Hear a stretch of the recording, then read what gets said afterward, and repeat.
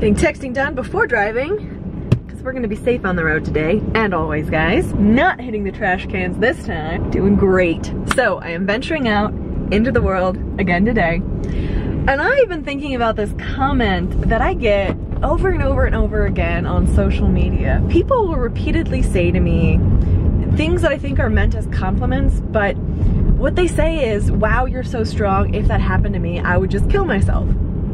And as I think about that for just a second, I think there are a variety of ways that one could take that comment. I think to some extent you could take it in a really kind of insulting way, like, wow, someone thinks my life is so worthless that they would end theirs instead of living mine, but that's honestly not how I take it. And if you've ever said that, no ill will whatsoever.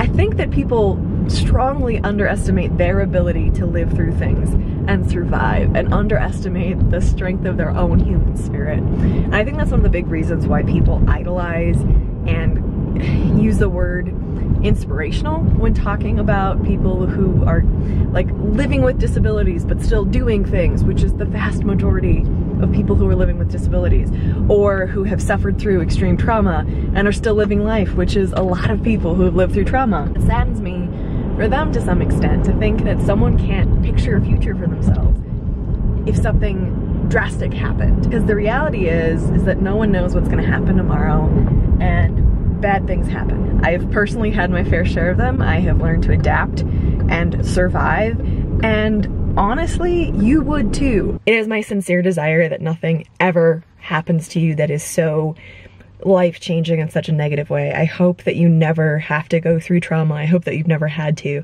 I hope that you never lose a body part. But know that if you ever did, know that if you ever do, you would find a way through. You could find a way through that is possible. When people say things like that to me, that they would literally rather die than learn how to live life without a leg, it honestly, like, it just like honestly makes my heart sad for them because I really feel like they are so underestimating their own power, their own strength, and their own like will to overcome and survive because it exists in them just as much as it, as it exists in me.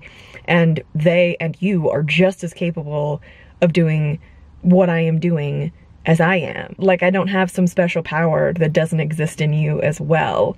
I'm choosing to live life. I'm choosing to figure it out and it's hard. That's it and and you could too if you were ever in my shoes. So to everyone who's made those comments, no ill will, no issue, whatever. But the next time you think about saying something like that, I would just stop and like think about the last really, really hard thing you've had to go through. And before you went through it, you probably thought that you could never survive it. I can think of so many things that I've gone through where I didn't think there was any way I could ever see the other side of it. I never wanted to see the other side of it, but then I did. Then I got through it. Then I found a way to keep putting one foot in front of the other and keep waking up, which is like the biggest part of making it through anything horrible and and you find a way. So I that's kind of a random rant for today, but I kind of just want to address that because I kept seeing that message come up and that comment come up and guys, we're so much stronger than we think we are. You are so much stronger than you think you are. Whatever you are facing, even if it seems completely insurmountable and like you can't get through it, you can. And what I'm facing on days when I feel like I cannot get through it, like there is no hope, there is no way, like it's never going to end, I can, and I will, and you will too. And I'm just about to be late. By the way, people always told me French press coffee is better than normal coffee. I never believed them. I never put in the extra work. I ran out of size 4 coffee filters today, which means I was only left to pull out the French press that I was given three years ago when I got married that I've never used.